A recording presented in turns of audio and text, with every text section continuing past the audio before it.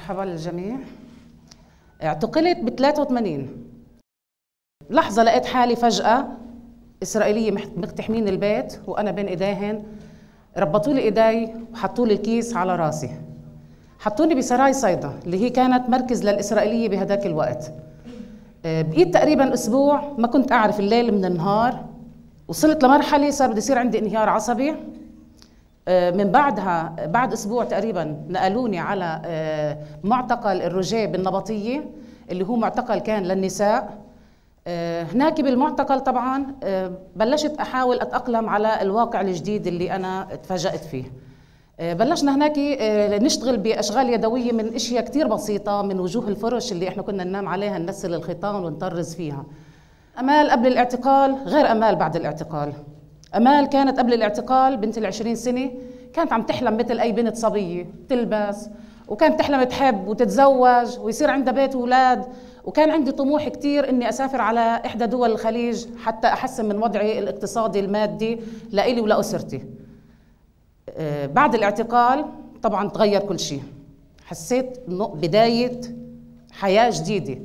امال لازم يكون لها دور نضالي فعال بداخل مخيم عين الحلوة تجاه أبناء شعبها. ما عدت أفكر بشيء آه، ثانوي. صار همي الأساسي هو كيف بدي أخدم قضيتي وكيف بدي أخدم أبناء شعبي. بالبداية بلشت بالعمل التربوي بالاتحاد العام للمرأة الفلسطينية.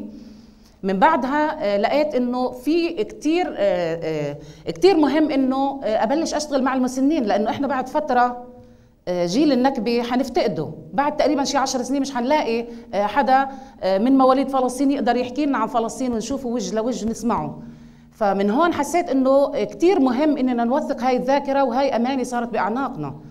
بلشت أوثق الذاكرة عن النكبه عن القرى والمدن عن التراث عن الأغاني الشعبية الأمثال الشعبية. الاعتقال أكيد قواني وأعطاني الصبر والإرادة. آه، مش بس على صعيد حياتي الشخص المهنية كمان برضه على صعيد حياتي الشخصية. أنا أم لأربع أولاد. آه، ابني الكبير كان عمره 13 سنة محمد. تعرض لحادث عندنا بالمخيم.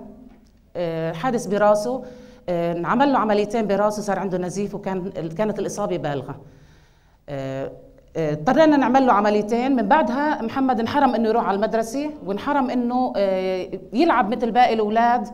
فبلش عنده بلشت عنده حالته بلش يصير عنده اكتئاب.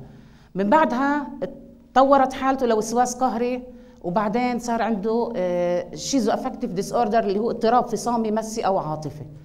هاي الحالة آه، يمكن اللي بيعرف بالأمراض النفسية والعصبية من أسوأ الحالات لأنه آه، المريض بيكون متقلب بده اهتمام وبده رعاية كتير مهمة. أنا بهاللحظة هاي حسيت يعني كنت بصدمة. ولازم أطلع من الصدمة. يعني قلت مش أسوأ من الاعتقال مش أسوأ من اللي شفته بالاعتقال. فأنا لازم أحمي أسرتي ومش لازم الأسرة كلها تتدمر لأني إذا أنا انهارت حينهار البيت كلياته. بلشت أشتغل على نفسي وأسأل. كانت كثير أسئلتي للدكاترة حتى يمكن كانوا يستاءوا مني. بس لقيت إنه آه، كل اللي كنت اساله كل اللي قرأته بالكتب ما أعطاني آه، ما أعطاني الغنى والتجربة اللي أعطاني إياها محمد بحياتي اليومية كل لحظة بلحظتها. كنت كل نفس أحس فيه لابني. يمكن بالحب بيقدر الواحد يعمل المعجزات. فمحمد طبعا بلشت أفكر إنه لازم يتعبى وقته ووقت فراغه. حطيته بمركز غسان كنفاني عندنا بمخيم عين الحلوة اللي بيعتني بذوي الاحتياجات الخاصة. آه، مرة من المرات كنت أنا معهن لأنه كنت كثير أضلني أخاف إنه لازم أرافقه أنا بكثير من من المواقف أثناء ما كانت تكون وضعه منتكس. آه، أخذوهن على الميتم حتى يعملوا دمج مع الأطفال اللي هناك ويلعبوا رياضة. كنت معه فتفاجأنا أنا والمدرب إنه محمد عم بيقفز خمس امتار بالوثب العريض. آه، قال لي المدرب تعي لهون أنت أمه قلت له أنا. قال لي لازم نشتغل على محمد، محمد بيطلع بطل بالمستقبل. آه، خلينا نشتغل عليه. قلت له أنا هذا اللي عم بدور عليه بدي شيء حتى أعبي وقت محمد حتى أحسس إنه هو قادر يعمل شيء. بلشنا نشتغل عليه بلش يتدرب محمد كل أسبوع يروح مرتين.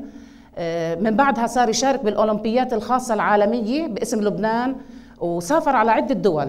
سافر على ألمانيا وعلى الصين على تونس على دبي أبو ظبي وسوريا وحاز على عدة جوائز آه، ذهبية وبرونزية وفضية. بعد ما كان محمد فكر أكثر من مرة بالانتحار.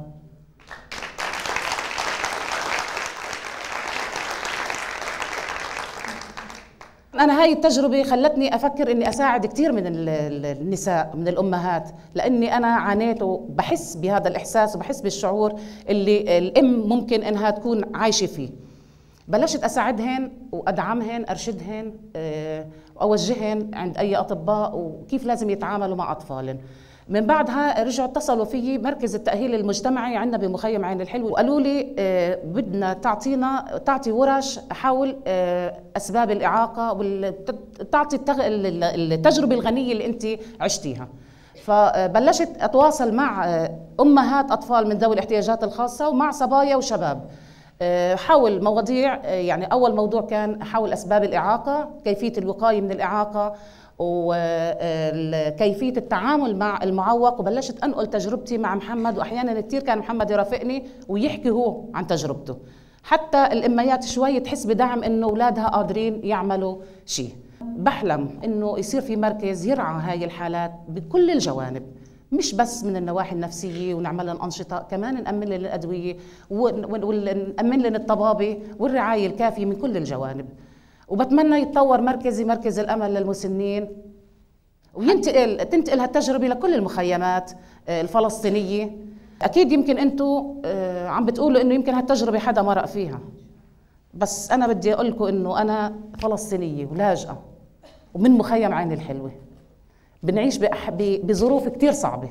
ظروف اقتصادية واجتماعية ونفسية. وأنا رح أبقى أناضل وأناضل وأناضل لغاية ما أوقف المرة الجاي مش بس من بيروت أوقف بفلسطين بالقدس كمواطنة ومش لاجئة فلسطينية. شكراً.